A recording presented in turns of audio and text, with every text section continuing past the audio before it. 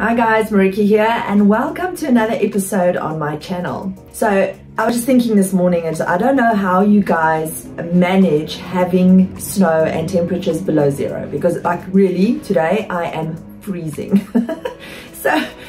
having a maximum temperature of about 8 degrees today and like you can see I'm like so warmly dressed with my hoodie and everything because I'm just like really freezing today. So um, for all my colleagues that are in the snowy areas really I take my hats off to you because um, you know 8 uh, has been a little bit hectic for me today. Now in this episode I wanted to uh, talk a little bit about building a dream team and how to go about doing that so that everyone is on the same page and everyone is working towards towards the same goals. In previous videos, we talked about HR and the challenges that we have in business, you know, some things that we don't actually get taught in medical school. And these are things that I really think is important for us to actually get a grasp of when we're looking at uh, building our own businesses. So there's a few points that I want to raise up for you guys today. Now, when you're looking at building a dream team, that there's a few points that I feel are the most important things to look at when you're actually in the process of doing this.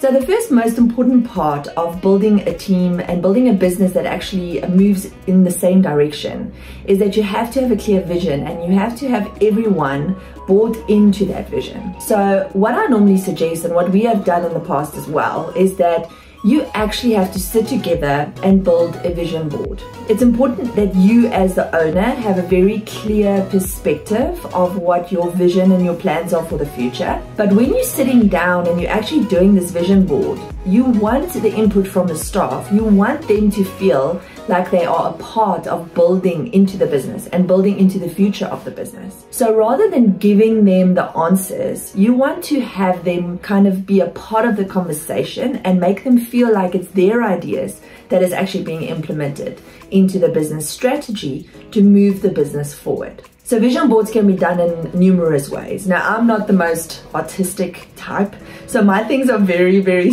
you know, like structured and nicely cut out with straight lines. But it's great if you have someone in your team who can be a little bit artistic and you can actually make this into a nice project, a team project, and you can put pictures and whatever it is that you feel um, really represents it, what, what it is that your business um, is all about. So let me give you an example from my business. So the vision of my business is to humbly serve every person that walks through the door. Whatever that looks like and however that plays out, the most important thing is that we are there for them. We are there to help and serve them. And they need to feel like that is the most important thing for us um, on uh, when they actually walk through the door. And it's very imperative that every person in the team understands this fact because that is the foundation of which my business is built on. From there, how it looks like is very flowing, it's very active, and it's, it differs, you know, from team to team. Now you want the team to be involved. You want them to, to, to give you suggestions on how to go about doing this, how to implement these things and um, what they see is their role in actually making this happen going forward. So what's also very important in vision board building is not just the vision of the business and the future of the business, but the future and the vision of every individual that is part of that team. Because every person has got their own um, dreams and their own aspirations and you want to try and incorporate that into your business because then you will have happy and growthful staff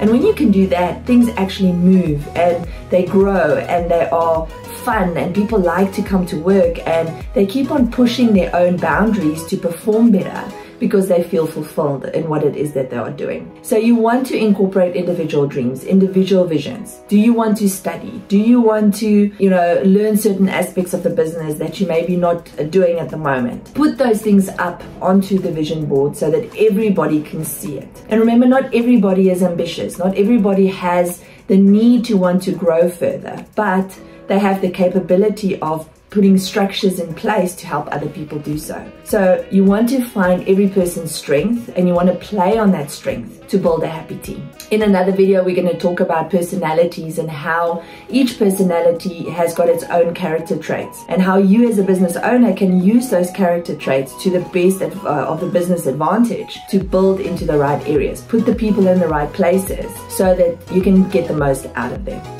But in terms of this video, so that's the first point. We need to build a team vision. Team vision, and remember the team vision is important so that we can move together into the right direction. Then the second part of building a dream team is that everybody needs to know where they fit in. Everybody needs to know what's expected of them, where they should be and what they should be doing. And this goes far beyond their job description. It goes far beyond the fact that they are the receptionist or they are the debtors person. It goes into the areas of, like I said now, their dreams and their vision and the vision of the practice. And when everybody understands what their purpose is, what they are there for, then the systems work a lot better. And no one kind of falls over each other and, oh, this was your job and it wasn't my job. And you don't have that thing happening because people take ownership of what is happening in the business. And then the third thing you want to do is you want to establish a flow. You want to have systems in place from A to Z, making sure that every time they do something, they do it in the same order so that there's a flow in the business uh, management, business paperwork, receiving the patients, and that flow creates kind of joint functioning. It creates smoothness in the practice. It makes patients feel comfortable and at ease, and it means that stuff don't go missing. There's not no gaps in between that allows for mistakes because when things happen the same way every time, the chances of you missing something or something not getting done is a lot slimmer than having things uh, happening randomly throughout the day and no one actually knows who's done what and who hasn't done what. So just to summarize, in terms of building a dream team, there's three main aspects. The first thing is a very clear company and individual vision and moving forward into the future together. The second thing is putting the people in the right places, everyone knowing what they are expected of them, knowing where they're supposed to be and what they're supposed to be doing. And the third thing is a practice flow.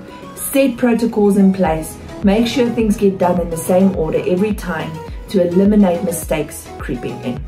I've been doing this now for about 12 years in my business and I can promise you guys I learn every day, but there are really these basic concepts that make a huge difference in terms of how your practice uh, operates on a day-to-day -day basis. So please guys, if you're new to this channel, go ahead and subscribe underneath so you don't miss the next video. Also go and have a look at some of the previous ones especially on HR and staff management and uh, you guys are really going to enjoy the content. Uh, make sure you don't miss out on it. Give us a thumbs up, share the video around a little bit. And then, uh, yeah, I hope to see you guys in the next video. And then always remember that we are blessed to be a blessing. So go out there and change some lives. But it's very, very important that you actually take the time to do that. My voice is sounding a little bit funny. um, so that we can actually but every individual's business. It, so please remember if you